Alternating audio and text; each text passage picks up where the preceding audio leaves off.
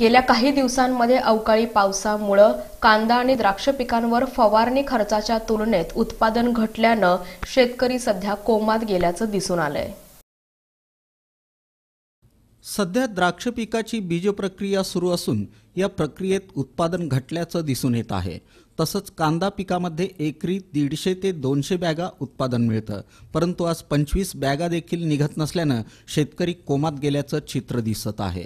तसंच रब्बी हरभरा करडई ज्वारी या पिकांचं देखील मोठ्या प्रमाणात नुकसान झाल्यानं येणाऱ्या काळात तुटवडा निर्माण होण्याची शक्यता वर्तवली जाते. आहे अशा परिस्थितीत कोमातील शेतकऱ्यांना जोमात आणण्यासाठी सरकार बँका तसंच व्यापारी वर्गानं विशेष लक्ष देऊन योग्य वेळी कर्ज उपलब्ध करून देऊन व्यापाऱ्यांनी योग्य भाव देऊन ऊर्जा निर्माण करणं गरजेचं आहे. या अवकाळी पावसानं दावण्या गळकूज तुमचं ही बुरी. यानं भरपूर नुकसान झालेलं आहे. पाऊस काय दहा अकरा दिवस थांबलेला नव्हता. त्याच्यामुळं शेतकऱ्याचं झालेलं आहे भरपूर नुकसान. म्हणजे सगळ्यांचंच झालंय आपलं म्हणून नाही पूर्ण आडेगावमध्ये शिवारामध्ये. तर औंदा अवकाळीमुळं ह्या वर्षी बरंचसं नुकसान झालेलं आहे बागेचं.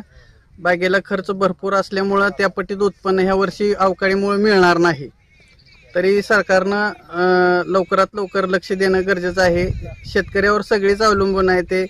अं, रोजगारी शेतकऱ्यावरच आहे वाहनवाला शेतकऱ्यावर व्यापार वर्ग शेतकऱ्यावरच आहे. आणि सरकार सुद्धा शेतकऱ्यावर ब- अवलंबून आहे.